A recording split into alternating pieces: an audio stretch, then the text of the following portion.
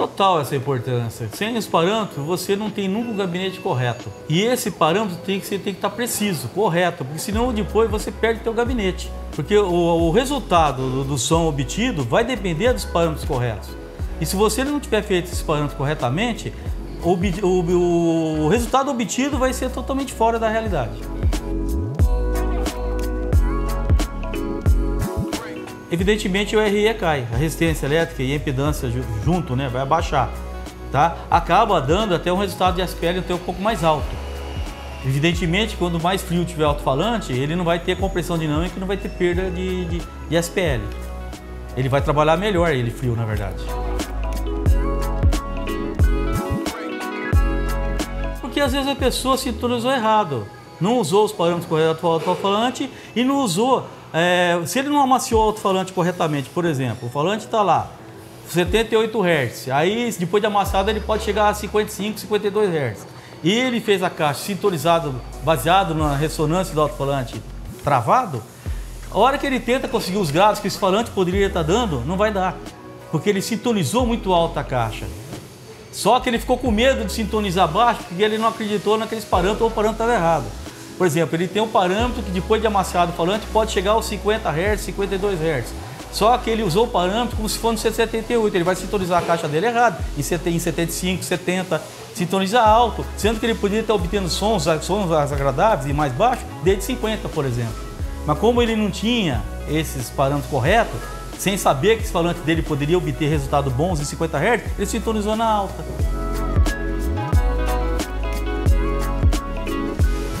É, o resultado é que você tem um dumping muito maior, uma velocidade de resposta nas baixas e não tem perda de SPL nas baixas.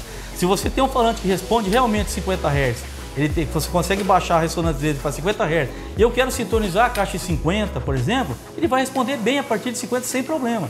Agora, se eu não estou com esse falante amaciado e na condição de responder 50 Hz, ele vai cair tipo 3, 4, 5 dB, às vezes até mais nessa frequência.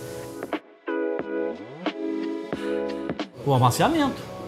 Sem o amaciamento, não consigo nada. Eu vou ter que, uma vez pronto o alto-falante, eu tenho que quebrar a resina, tanto da borda da suspensão do cone, do, do, da borda externa, quanto da centragem, que é outro, a gente também comumente chama, a gente costuma chamar também de aranha, né? Muita gente chama de aranha, ou centragem. Essa aranha usa resina na, na sua confecção. E essa resina, quando sai de fábrica, ela está dura ainda, está muito firme. Então você tem que quebrar essa resina. Só para citar um exemplo muito conhecido de uma caixa mundial, que é a BMW, é as caixas da BMW, você ter uma ideia, para você ouvir o som dela, específico em manual, isso inclusive dele. Você tem que ter um amaciamento de 100 horas. Somente depois de 100 horas que você vai estar ouvindo o som real da caixa. Você imagina, você ficar ligado com sons. Por que eles falam assim, olha, porque você está usando som mecânico, som mais baixo, volume mais baixo. Agora, eu não posso, ninguém vai aguardar esse tempo todo para usar uma, um alto-falante no uso profissional ou automotivo. Então, o que, que eu faço? Eu acelero esse processo de amaciamento. Eu jogo uma frequência mais baixa, com uma tensão razoável, para ter um deslocamento alto, que normalmente é até um pouco acima daquilo que o falante vai ser usado. É, por exemplo, esse falante que nós vamos servir de exemplo aqui, o nosso MB620, eu, o, o, o, deslocamento que a pessoa costuma pôr é em torno de um centímetro no máximo, 5 milímetros para cima, 5 milímetros para baixo. Eu coloco o dobro disso, em torno de 20 milímetros, um centímetro para cima, um para baixo, para quê? Para provocar a quebra dessa resina mais rápido. Então eu faço um amaciamento de 30 minutos a 50 minutos para você ter, antecipar aquilo que você ia levar, vamos dizer, alguns dias para amaciar, para chegar lá. Aí com esse amaciamento eu vou ter, obter os resultados dos parâmetros corretos porque aí os parâmetros vão ser tirados com essa quebra da resina feita já com antecedência. Então, aqueles parâmetros que nós, que a SEV especifica, a Tarantos, o grupo Tarantos especifica nos seus folhetos, nos seus manuais, já é o alto-falante amaciado. Todos os parâmetros que eu tiro dos nossos componentes são amaciados dentro de fábrica, aquela unidade. É lógico que eu não vou fazer isso toda unidade que vai sair. Você imagina uma linha de alto-falante com mil alto-falantes e amaciar um por um durante uma hora ou duas horas. Isso é inviável. Tá? Você amacia a unidade que você vai tirar parâmetro. Agora, você vai imaginar que o cliente que vai usar isso aí, se ele vai ele criar o gabinete, ele vai aos parâmetros que eu gerei, já está com o falante amaciado. Agora, se ele quer amaciar o falante ele mesmo, ele vai ter que repetir o que eu fiz. Usar frequência baixa, uma tensão eh, programada para ter aquele deslocamento e deixar um período amaciando.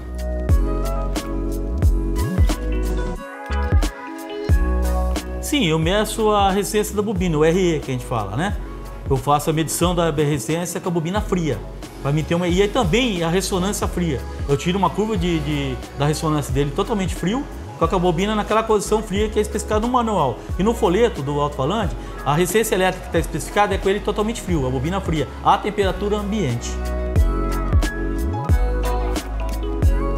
Depois de amaciado, como eu expliquei, ele, eu faço a curva dele free air, aí acabei de amaciar o falante, dou uma esfriada na bobina rapidinho com ar frio, compressor de ar, passo pelas áreas de ventilação que eu tenho no alto-falante, de saída de ar quente, eu dou uma esfriada rápida na bobina. Por que, que eu digo rápido? Porque se eu levar, deixar esfriar naturalmente muito tempo, a própria suspensão da centragem e da, da borda do alto-falante vai voltar a endurecer um pouco. Aí eu não tenho um parâmetro real do amaciamento. Então eu esfrio bem rápido essa bobina, aí vou lá, tiro a curva dele novamente, suspenso, free air, na vertical, é minha maneira de tirar, porque eu, dificilmente você vê um trabalho, eu falei trabalhando na horizontal deitado, que aí eu tenho a divisão de peso, eu tenho que deslocar ele na vertical, aí eu tiro o parâmetro dele free air e depois adicionando uma massa. Essa massa é o que que eu adiciono? Que o programa, o software que eu trabalho, o LMS, ele pede dois parâmetros, um free air e o outro massa adicionada. Agora eu tenho que saber qual que é essa massa. Eu uso como parâmetro próprio meu peso do cone mais peso da bobina, peso da centragem, calota e a escola aplicada. O que, que é mais fácil eu fazer? Eu pego um reparo pronto, que nós já temos, tá? E peso isso, uma balança analítica de precisão. Essa massa que eu obtive disso tudo, eu aplico no cone, nessa parte aqui da, da borda da, da colagem entre calota e cone, aplico essa massa e faço a medição dele já com a massa adicionada. Gerando esses dois parâmetros, free air e com massa adicionada, o software vai me gerar os parâmetros de Lismão. Eu passo para o programa qual a resistência da bobina fria, tá? A resistência da bobina e a área do cone. A resistência da bobina e a área de cone. E ele quer também a massa que você acionou, os três parâmetros que você tem que fornecer para ele.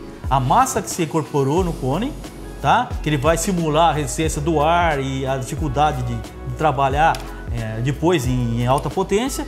E também é, a área do cone, que é muito importante, que vai passar depois o SPL final, é que vai determinar o VAS do alto-falante e quanto de ar que ele consegue deslocar. Ele precisa saber, o programa precisa saber que tamanho de, de cone você está usando. Então esses parâmetros eu preciso passar. Eu sempre utilizo a área útil do, alto, do cone do alto-falante. O que, que, seria essa área útil? A área móvel, que está se movimentando, deslocando o ar, correto? Seria... Eu pego a parte central, se tem três ondas, a onda do meio. De uma onda do meio de um lado para a onda do meio do outro lado do cone. Essa aí é a área que está conseguindo deslocar ar. Se eu pegar, além disso, por exemplo, na, externamente, próximo à carcaça, não está deslocando ali, não está tendo deslocamento do ar. Isso vai me dar um resultado totalmente falho, errado e enganoso. Porque eu vou estar falando para o cliente que o, o alto-falante está dando um resultado em SPL, em, em rendimento acústico e percentual, que não é a realidade, porque eu usei uma área não útil, que não está deslocando. Então eu passo para os nossos clientes a área útil, mesmo perdendo com isso, eu faço aquilo que realmente tem que ser feito. Se eu usar uma área externa aqui, ó, se eu pegar errado, apelar aqui e usar uma área maior, eu vou obter 3,5% de rendimento. 3,5%. E um VAS vai aumentar, falando que vai precisar de mais litragem da caixa, tá? Porque ele acha que o cone está maior, né? Então, evidente, o VAS sobe. Agora, se eu usar os parâmetros reais, como eu faço, eu tenho 2,5%, 1% a menos. Só que é a realidade. Eu estou usando a parte móvel do cone ainda onde a da borda que está deslocando, que realmente está tá contribuindo para o deslocamento do ar, certo? Aí dá uma diferença de 1%. Aí cai o VAS e assim por diante. Aí você fala, nossa, mas aí você, né? Você está perdendo 1%. Mas eu não posso mentir. Eu tenho que falar aquilo que é. Ele precisa dos parâmetros corretos para obter o resultado. Eu vi. O que adianta eu falar para ele que está dando 3,5 hora que ele vai medir, fazer uma medição, não dá nada daquilo que eu falei. Se eu baixo a resistência elétrica, é evidente que ele vai puxar um pouquinho de SPL. Porque, na verdade, ele mediu, ele, ele foi feita uma medição que deu uma resistência, por exemplo, de, de 3 ohms. Aí, na hora de tirar os parâmetros, eu falo, não, ó, é 2,7. o rendimento sobe. Muda os parâmetros e já fora da, sai da realidade. Aí alguém vai fazer a, conferir isso aí e vê que não bate nada com nada. Ou então ele joga esses parâmetros dentro de um programa para fazer análise de caixa, ele faz uma caixa errada. Porque o falante está numa situação e eu falei que está em outra. A realidade falante é uma coisa e eu pus no papel outra coisa. Então não é por aí. Eu não quero que o cliente passe por esse sabor.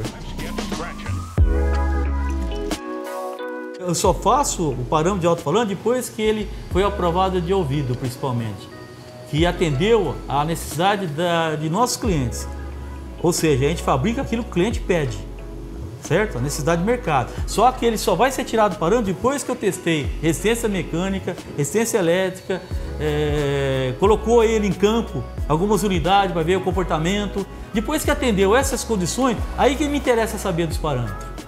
Eu posso tirar até um parâmetro provisório só para mim ter como está o resultado daquele alto-falante, para não ficar cegas também.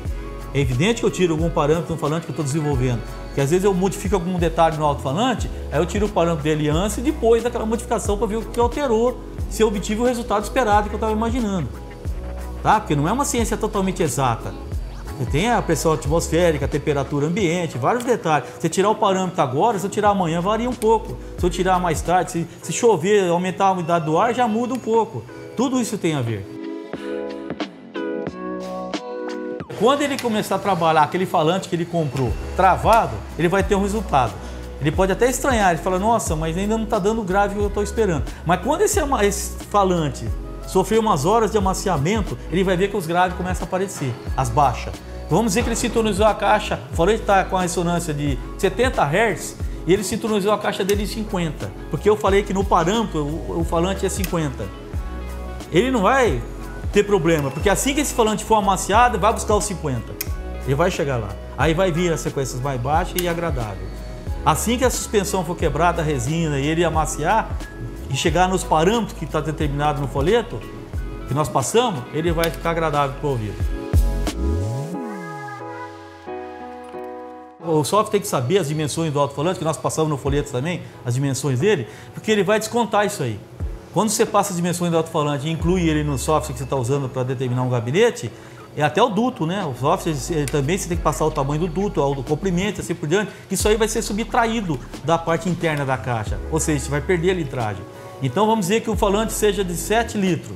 Ele, ele, você tem ah, o duto mais 2 litros. Você, tem, você quer uma caixa que tenha resposta legal a partir de 50 litros. Então você tem que fazer praticamente usar uma caixa de 60 para sobrar os 50 que você está querendo. Obter aquele resultado desejado de, de, de frequência de graves, por exemplo. Não tenho dúvida, eu estou nisso há, desde os meus 15 anos. Hoje eu estou já com o meu 65, né, 6.5.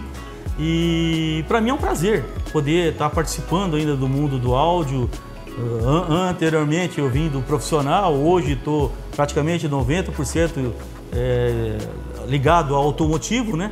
que hoje em dia é mais automotivo, mas para mim é um prazer. Eu todo dia estou aprendendo, conhecendo é, novos horizontes e, e, podendo participar disso e colaborar é um grande prazer. E o que eu puder fazer para a nossa clientela, para nossos amigos, pode contar comigo.